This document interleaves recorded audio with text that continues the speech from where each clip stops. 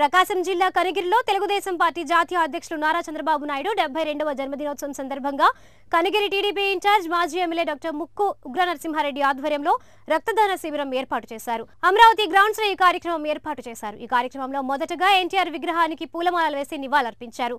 కనిగిరి నియోజకవర్గంలోని ఆరు మండలాల నాయకుల సహకారంతో ప్రజలు పాల్గొని చంద్రబాబు నాయుడు ఆరోగ్యం బాగుండాలని ఈ కార్యక్రమం చేపట్టడం జరిగింది. ఈ కార్యక్రమంలో సుమారు ఐదు వందల మంది రక్తదానంలో పాల్గొనే అవకాశం ఉందని తెలిపారు.